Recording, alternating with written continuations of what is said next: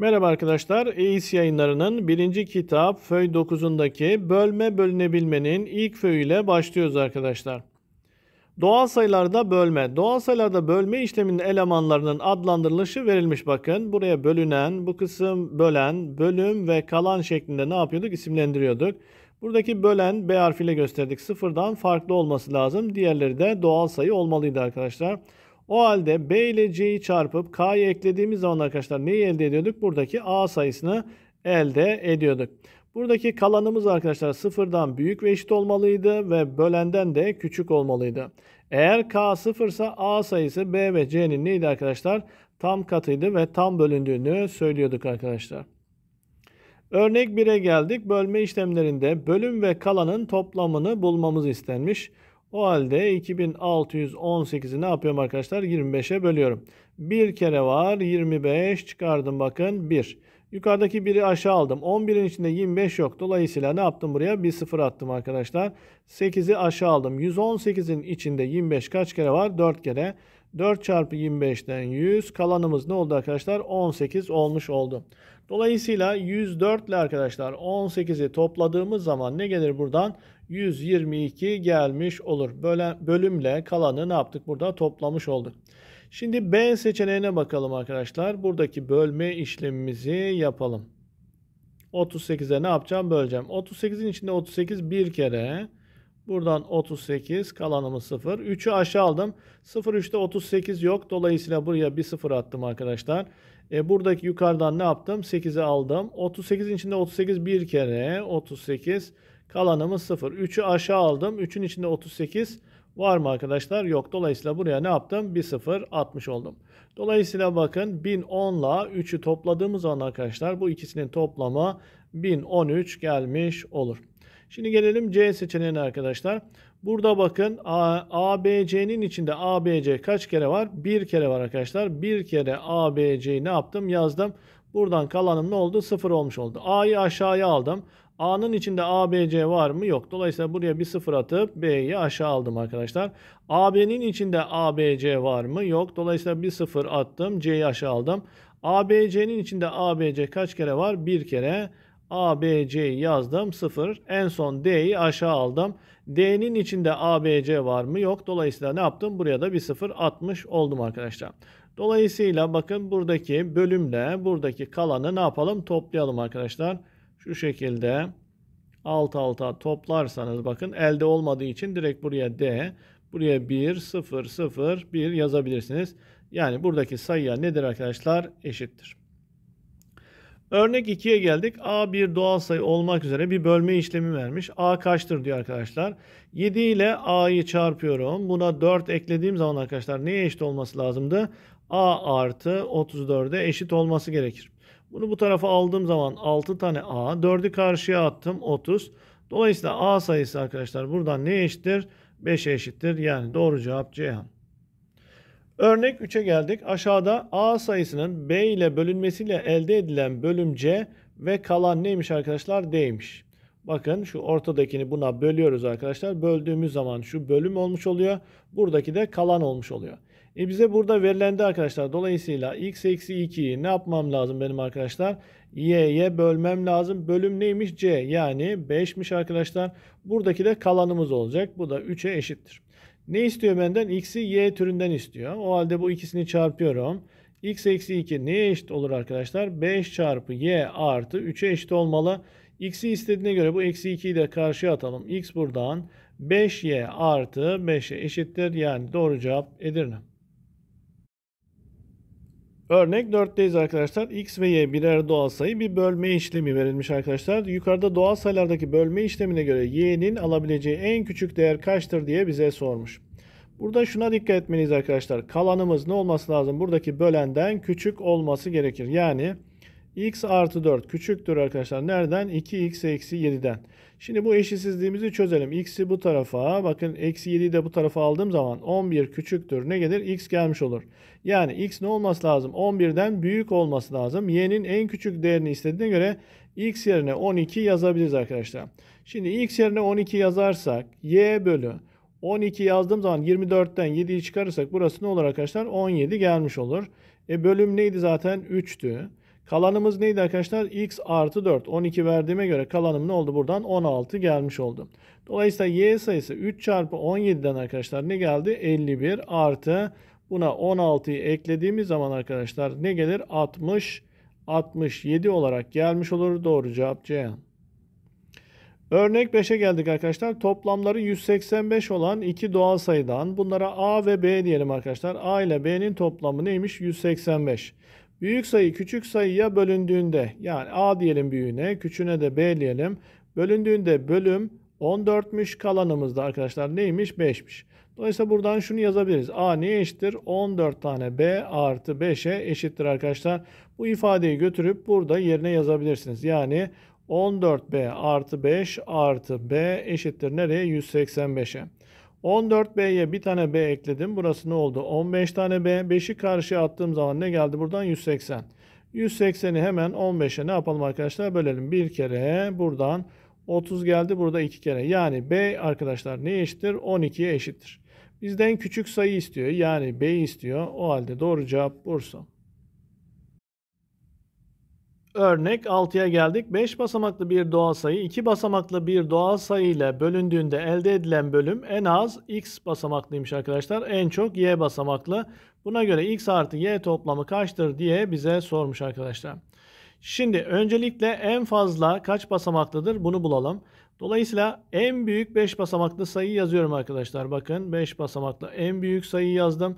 Dolayısıyla buradaki bakın şu bölüm e, basamak sayısının fazla olabilmesi için buradaki sayımı en küçük 2 basamaklı olan 10 olarak ne yaptım? Seçtim arkadaşlar. Dolayısıyla bu ifadeyi 10'a böldüğüm zaman arkadaşlar ne çıkar? 9999 çıkmış olur bakın çarptığım zaman. Kalan da ne olur arkadaşlar? 9 olmuş olur. Demek ki en fazla neymiş? 4 basamaklıymış arkadaşlar. Yani y ne eşittir? 4'e eşittir. Şimdi en az kaç basamaklı olduğunu bulabilmek için arkadaşlar. Dolayısıyla 5 basamaklı en küçük sayımı yazacağım. 5 basamaklı en küçük sayımı yazdım. Bunu ne yapıyorum arkadaşlar? Bunun en az olabilmesi için arkadaşlar bunu en büyük iki basamaklı sayı olan nereye bölmem lazım? 99'a bölmem lazım arkadaşlar. Dolayısıyla bölelim. Bakın 100'ün içinde 99 kaç kere var arkadaşlar? Bir kere 99'u aldık. Kalanımız buradan 1 oldu. Bir sıfırı aşağı aldım. Onun içinde 99 var mı arkadaşlar? Yok. Buraya bir sıfır attım. Buradan bir sıfır aldım arkadaşlar. 100 oldu. Bakın 100'ün içinde 99 kaç kere var? Bir kere. Dolayısıyla çarptığımız zaman kalanımız ne geldi arkadaşlar? 1 olarak gelmiş oldu. Yani basamak sayısını ne bulduk burada? En az olarak 3 bulmuş olduk. Yani x de neye eşittir? 3'e eşittir. Bizden ne istemiş? Bu ikisinin toplamını istemiş. Dolayısıyla arkadaşlar 7'ye eşittir. Doğru cevap Bursa. Örnek 7'ye geldik. ÖSYM'nin 2020 AYT'de sorduğu soru. 3 basamaklı ABA doğal sayısının 2 basamaklı A1 doğal sayısı ile bölümünden elde edilen bölüm neymiş arkadaşlar? 13'müş. O halde yazalım. Bakın ABA nere bölünüyor arkadaşlar? A1'e bölünüyor. Bölümümüz neymiş? 13'müş arkadaşlar. Kalanımız da neymiş? 19'muş. Dolayısıyla bakın bu ikisinin çarpımına 19 ekleyip AB A'ya ne yapabilirim? Eşitleyebilirim. Aynı zamanda bu 3 basamaklı olduğu için hemen çözümleyelim arkadaşlar. Bakın burada 100 tane A var. Burada da bir tane A olduğuna göre 101 tane A buradan geldi. Artı 10 tane B'miz var arkadaşlar. Eşit olacak. Bu nereye? 13 çarpı A1'i de hemen çözümleyelim arkadaşlar. Neydi bu? 10A artı 1'e eşitti. Artı bir de buna ne ekleyeceğiz? 19'u ekleyeceğiz arkadaşlar. Hemen karşı tarafı çarpalım. Şuradan ne gelir? 130A gelmiş oldu. Artı buradan 13 geldi. 19 da buradan var arkadaşlar. Buradan 32'yi elde etmiş olduk. 101 tane A artı 10B de nerede? Sol tarafta vardı. Şimdi bunları bir tarafa toplayalım. Şu 101 A'yı karşıya atalım arkadaşlar. Dolayısıyla bakın burada 29 tane A kalacak. Yani 10 tane B eşittir. 29 tane arkadaşlar A artı ne geliyor? 32 gelmiş oluyor. Şimdi buradaki A ve B yerine arkadaşlar ne yapalım? Değer vermeye çalışalım. Buradaki B yerine arkadaşlar bakın 8 versem burası ne geliyor? 80 gelmiş oluyor. Burayı 80 yapacağıma göre arkadaşlar burada 32 var bakın. 32'ye ne eklemem lazım ki 80 olsun? 48 eklemem lazım. Demek ki bakın B değeri ne olamaz? 8'e eşit olamaz. Peki B 9 olur mu? 9 yazarsam bakın ne geliyor? 90.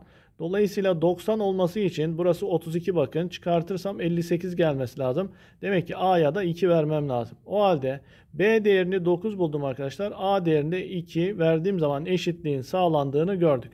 Bizden ne istiyor? A artı B toplamını istiyor. Dolayısıyla 9'da 2'yi toplarsak 11 olur. Yani doğru cevap Diyarbakır.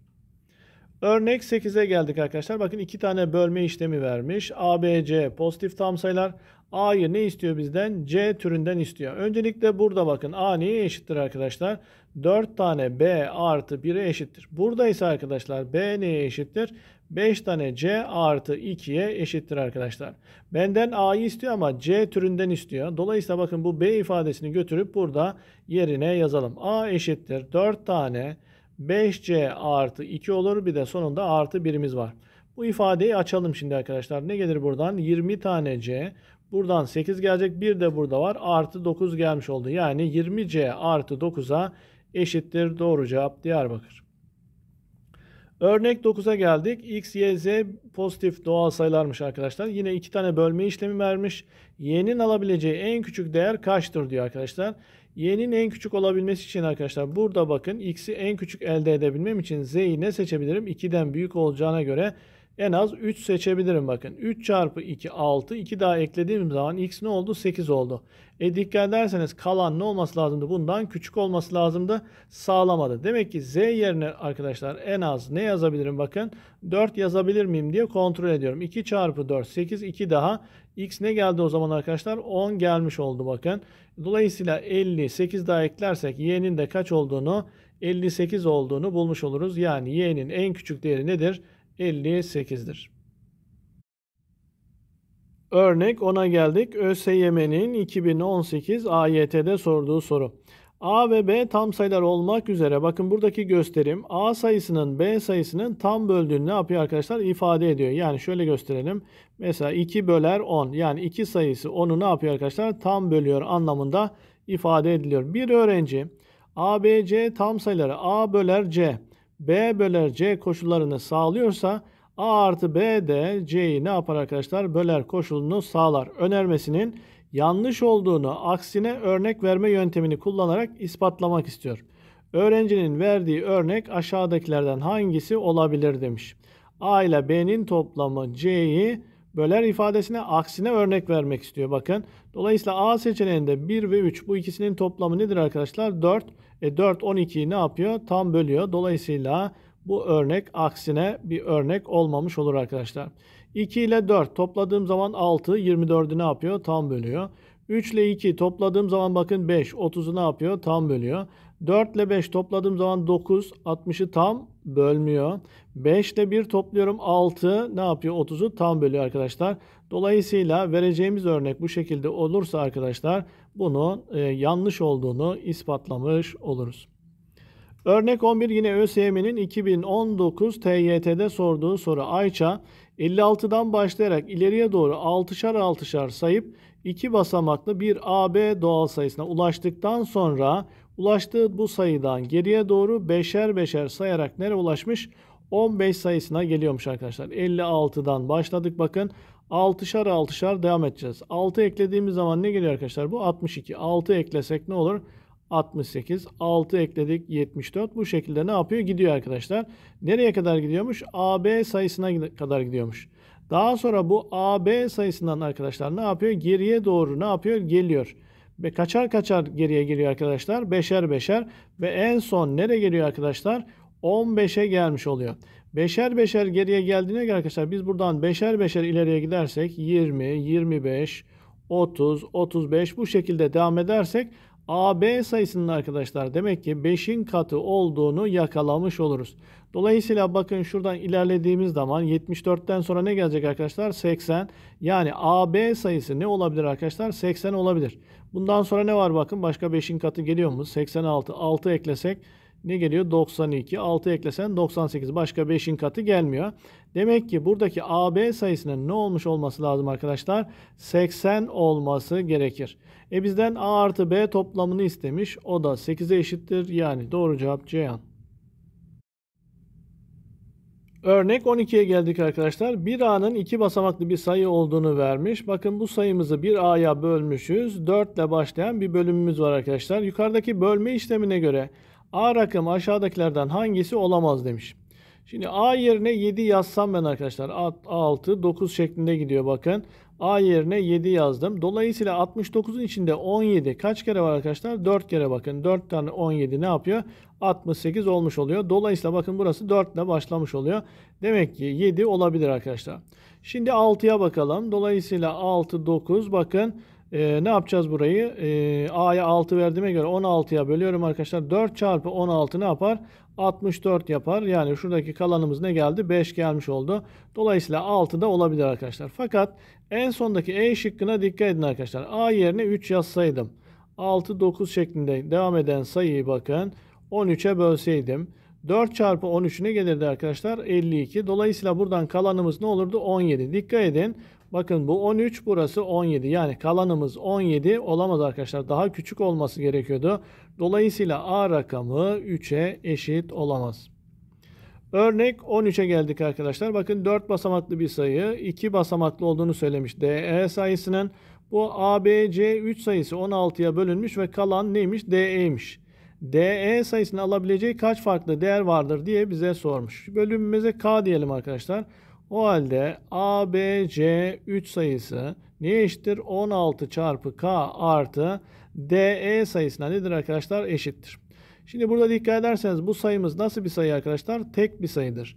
E, 16K nasıl bir sayı? Çift bir sayı. E, dolayısıyla buradaki DE'nin ne olması lazım arkadaşlar? Tek bir sayı olması lazım.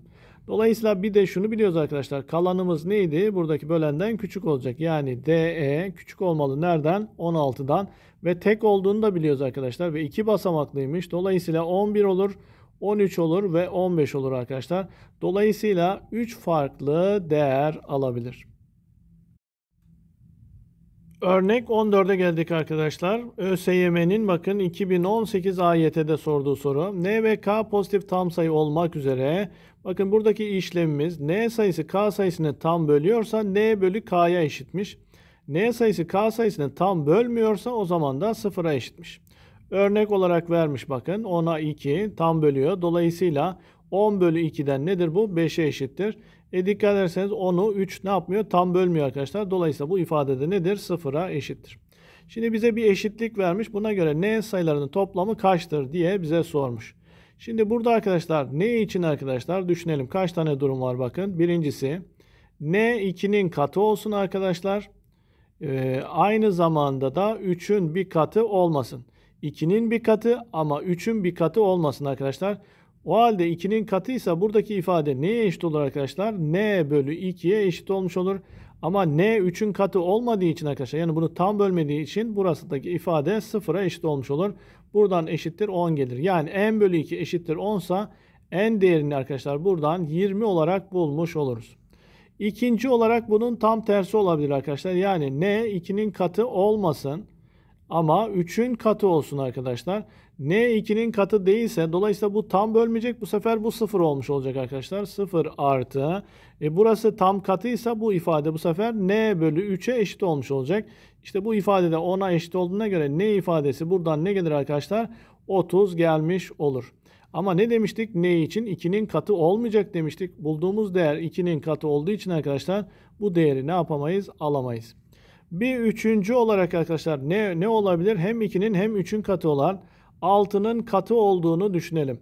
Ne 6'nın katıysa hem 2'ye bölüyor hem 3'e bölünüyor demektir. Dolayısıyla bu 2'ye tam bölünüyorsa bu ifade n bölü 2'ye eşittir. Buradaki ifadede dolayısıyla 6'nın katı olduğu için 3'e de tam bölünecek. Bu ifadede n bölü 3'e eşittir. Bu ikisinin toplamı 10 olduğuna göre payda eşitlersek buradan 5n bölü 6 eşittir ne geldi? 10 geldi. Sadeleştirdik buradan 2. N neye eşittir arkadaşlar? Buradan 12'ye. E bir 20 bulmuştuk arkadaşlar. Bir de 12 bulduk. Bu ikisinin toplamından 32 olur. Doğru cevap Ceyhan.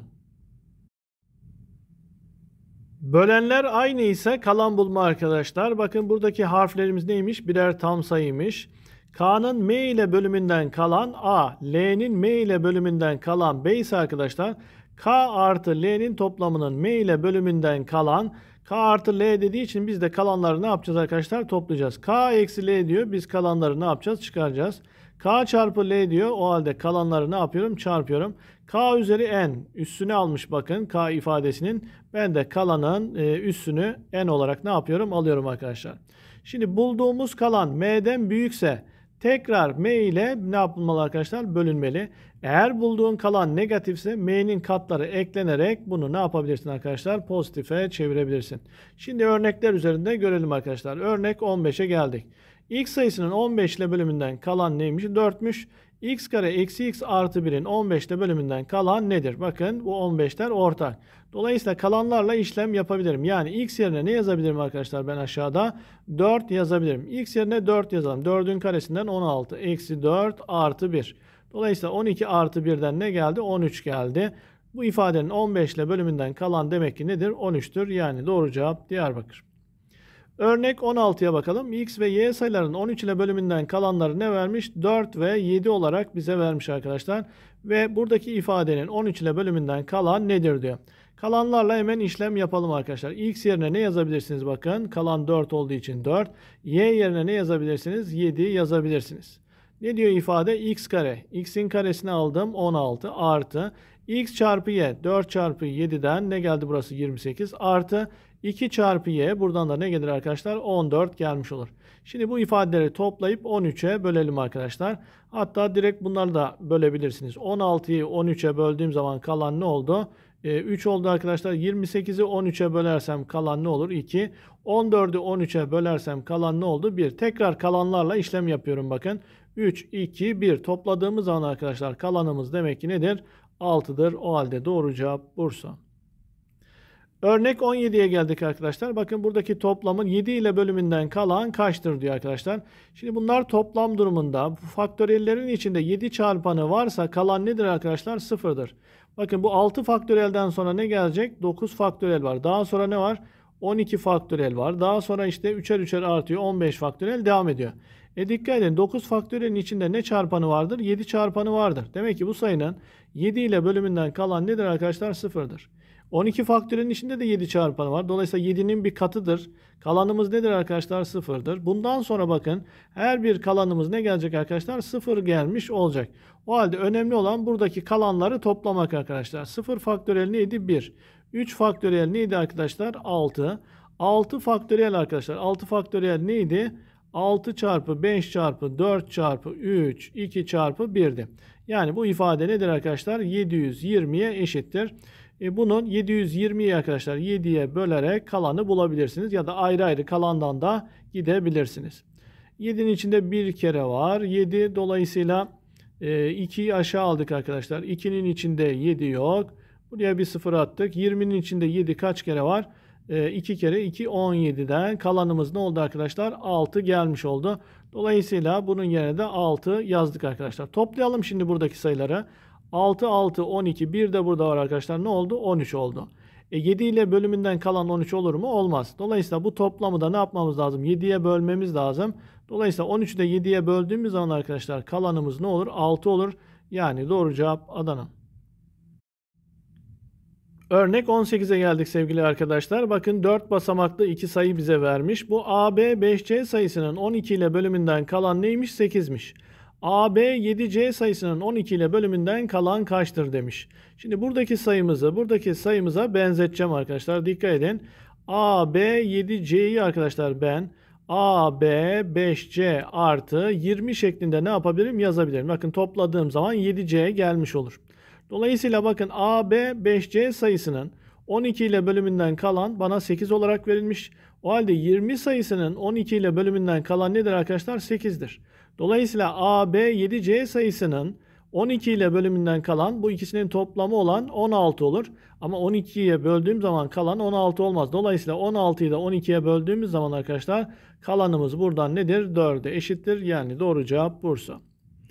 Örnek 19 ÖSYM'nin arkadaşlar 2010 YGS sorusu. Bakın bir iki tane bölme işlemi verilmiş.